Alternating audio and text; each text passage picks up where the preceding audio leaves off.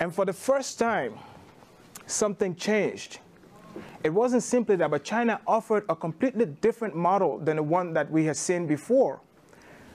So you can, and listen, everything I'm saying here today, obviously you're free to check it out later. but recently there was a report where 101 companies either listed on the London Stock Exchange or domiciled in the UK own the rights to $1 trillion of resources in Africa.